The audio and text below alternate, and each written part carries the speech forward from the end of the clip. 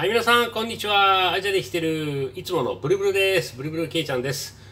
えー、今回もね、ブルブルブルでやっていきたいなと思うんですが、えー、今回のね、ちょっと話題に関しては、えー、ちょっとね、経験問題だとか、皇室の話題をちょっとね、離れます。えというのもですね、え今現在行われてる、えまあ、北京オリンピックですね、北京オリンピックに関して、関してですね、ちょっとね、いや、なんかいろいろね、問題が起きておりますね。というような中で、えー、ちょっとね、その問題というかですね、こんなことあっちゃいけないなというようなことも含めてですね、ちょっとね、お話ししていきたいなと思います。えー、ちょっとね、2つばかしね、ちょっとお話ししていきたいんですけども、えー、まずね、1つ目、1つ目に関しては、これはもう皆さんね、もう現在よくね、ご存知なんじゃないかなと思いますけども、えー、スキージャンピングの、えー、新種目なんですね。新種目の、え、混合団体、男女の混合団体種目ということで、まあ、女性選手が2人、で男性選手が2人、え計4人でですね、合計得点で、まあ、メダルを争うというですね、新しい種目がスキージャンプでありましたと。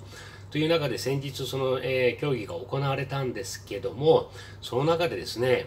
えー、日本選手で言えば高梨沙羅選手、沙羅ちゃんですね、高梨沙羅選手と、あと他の、えー、国のですね、競技者の中でも合わせて4人、全部で5人かな、あの、スーツのですね、規定違反ということで失格になりましたよね。で、これに関してね、今現在すごいあの、えー、波紋をね、えー、その実際のオリンピック委員会、もしくはその実際行ったですね、そのスキーのジャンプジャンプの連盟かなんかにですね、非常に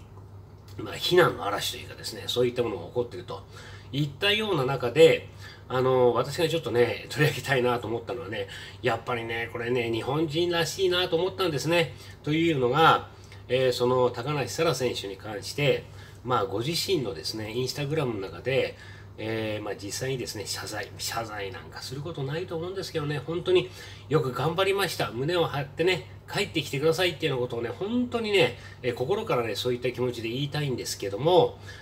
やっぱりね、日本人ですね、と思うんですね。こういったようなことをなんか、真摯に受け止めてね、自分が悪かったんだっていうことで、インスタグラムでね、ちょっとこういったようなことを、えー、まずね、えメッセージを発しています。内容がね、えー、今回私の男女と混合団体戦での失格で日本チームみんなのメダルのチャンスを奪ってしまったことそして今までチームを応援してくださった皆様そこに携わり支えてくださった皆様を深く失望させる結果となってしまったこと誠に申し訳ありませんでしたと、えー、謝罪したっていうんですね。で私の失格のせいでみんなの人生を変えてしまったことは変わりのない事実ですなどと記していたということであのこれに関してですね、えー、まあこういったようなねうん、本当にねなんかね胸がね痛くなりますね。本当にこういったようなことをね自分でなんか読んでもねなんかちょっとね本当かわいそうだなっていうふうに思うし今回の、えー、まあ、事件というかですね実際のその規定違反に関しては今日のねなんかね記事なんかでも出てましたけども実は以前は、えー、そのこの女子の、えー、個人種目ですね、個人のノーマルヒルですね、ノーマルヒルの種目では、このスーツの検査に関して、女性の人しかなんか携わってなかったのが、今日ね、なんかトースポのニュースなんかでも出てましたけども、この男女の混合のね、団体の時にはなぜかですね、その審査、そのスーツの審査をするときに男性の担当者が介入していった、そういったようなことで、なんか大混乱をね、起こした。みたいなね、そういったようなことみたいですね。なので、どちらかというと、その運営サイドがね、なぜこんなことをいきなりしたのかっていうようなね、えー、ことが非常に、えー、特にですね、金メダルを逃したそのドイツ、ドイツがなんか大本命だったんですね。そのドイツの選手団、もしくは個人の選手からも、なんだーみたいな形で、えー、もう大批判が起きてると。まあ海外のね、その実際に今回は、えー、高梨選手を含めて 5, 5選手かな、5選手が、え、そういったようなスーツの規定違反ということで失格になってるんですけども、特に、あのドイツを筆頭にして、まあ、金メダル候補だったドイツの、ね、選手、もしくは、ね、選手団を筆頭にして、なんでそんな、ね、違うことをやるんだっていうようなことで大批判が起きてるんですけども、かたやね、えー、その日本選手に関してはさっきね申し上げましたように、まあ、高梨沙羅ちゃんのこのねインスタグラムで、まあ、涙の謝罪、まあ、本当にそんなことする必要ない。本当に頑張った。ね、胸を張って帰ってきてほしいというようなことを皆さん思ってると思うんですけども、それに加えてですね、同じその、えー、混合チームの中で選手として、えー、参加したですね、佐藤さん、えー、佐藤選手ですね。これ男性の選手で佐藤育也さんって言ったかな。えー、佐藤選手に関してはですね、やっぱりその投稿の中でですね、これもね、やっぱりね、日本人らしい、その、なんていうのかな、心のかけ方というかですね、素晴らしいな、スポーツマンシップだなと思うんですけど、えー、その佐藤選手のね、投稿に関してはですね、何一つも奪われてなどいないと。本物のファンは失望などしていないと。えー、絶望しない限り実は希望は失われない。あなたのジャンプが多くの方の人生を明るく変えたことはあっても私の人生を変えた事実などはどこにも存在しない。責任を取る必要などは全然ありませんと。もちろん反省する必要もありませんというようなことで強調したっていうようなねそういった投稿をしたらしいんですね。まあやっぱりこういったようなことがやっぱりね俗に言われるそのスポーツマンシップですよね。それに対してやっぱりね、こういったようなね、その高梨選手のこのインスタグラムの投稿、もしくは今ね、ちょっと紹介させてもらったような佐藤選手のね、えー、その、えー、投稿ですね。全然そんなことないでしょう。私が申し上げましたように、もう胸張ってくださいっていうようなことですよね。謝罪なんかする必要ありませんと。で、これが日本選手のね、えー、ていうのかな、反応に対して、他のそのさっき申し上げたような、その、えー、ドイツ、の選手じゃありませんけども、えー、そういったようなところはね、なんでそんなね、運営委員会の方で、そういったようなね、急に変わったようなね、えー、そのスーツのね、審査に関して行うんだみたいなね、大批判をしてると。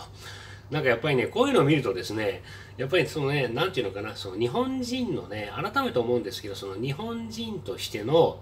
えー、なんかね、心というかですね、やっぱりちょっと日本人違うなという気がしますね。まあそういったのことを見るとね、やっぱりなんか日本人としてなんかね、誇りに思うじゃありませんけど、今回のその高梨選手、もしくはこのさっき紹介させてもらった佐藤選手のね、投稿のね、インスタ、インスタの投稿なんかを見てもですね、日本人としてなんかね、えー、希望がもらえるし、えなんかスポーツマンシップの素晴らしさもあるし、なんか日本人としてね、私なんか海外にいますけども、すごくなんか誇りに思えるなっていう感じはいたしますね。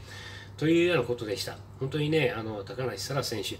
もう私もちょっと別の動画なんかでも出したんですけども、もう全然ね、そんなね、謝罪だとかですね、あのそんななんかささっきね、インスタのちょっと投稿なんかでも紹介させてもらいましたけども、私の失格のせいでみんなの人生を変えてしまったことは代わりの変わりようのない事実です。そんなことないですって。そういったようなことをね、逆に思ってる他の3選手思ってますか？絶対そんなことないですよね。もうぜひですね、胸を張って頑張ったっていうね、心持ちで帰ってきてほしいなっていうようなことを思います。決して、えー、涙を見せるようなことはないと思います。一生懸命頑張りました。個人戦も4位。素晴らしい成績ですよね。個人戦も4位。団体戦も4位。まあ、確かにメダルの本当一つしたということで、まあ非常にね、残念ではありますけども、でも素晴らしいですよ。世界の4位ですよ。世界の4位。こんな素晴らしい結果ないですよ。っていうようなことを思いました。あとね、ちょっとね、今日2つって言ったんですけども、これはね、まだね、事実がはっきりしてないから、あえてね、えー、私もね、申し上げませんけど、昨日、今日ぐらいに、えー、急に出ておりますよね。えー、ロシアの、えフィギュアスケートの選手のね、ワリエラ選手に関して、まあ、あるちょっと疑惑が出てるというようなことで、例のその団体戦がね、先日行われた団体戦の表彰式が急遽取りやめになりましたよね。えちょっとね、こういったようなことも、なんかね、まあ、ちょっとこれまだ結果が出てないのでね、私もコメントをちょっと差し控えますけども、非常に今回のね、オリンピックね、えー、なんかね、いろんなことがありますねっていうようなことありますね。かたやちょっとオリンピックをね、えー、ちょっとね、横に置いた置いて、えー、ちょっとね、他の世界の動向なんかを見る見るとですね、まあいろんな問題がまだあるしね、ウクライナの問題があったりですね、例えばですね、まあ N 警国もですね、いつまたね、ミサイル発射するかみたいなね、話もありますしね、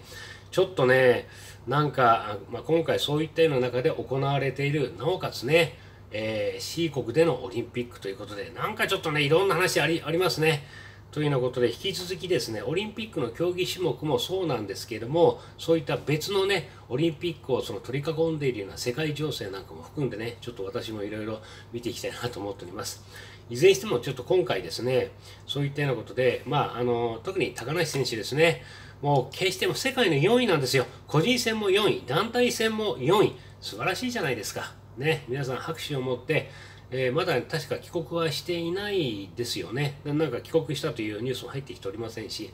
もう帰国したら多分ですね、あのー、まあ、メディアがね、またね、わーという形で、えー、報道するんでしょうけども、ぜひね、胸を張って、私、4位で頑張りました、4位ですということでね、胸を張って帰ってきてほしいなという気がいたします。今回もご視聴いただきましてありがとうございました。失礼します。それではまた、バイバイ。